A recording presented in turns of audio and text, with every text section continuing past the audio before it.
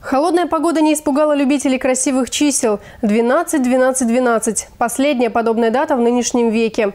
16 пар сегодня решили зарегистрировать свой брак.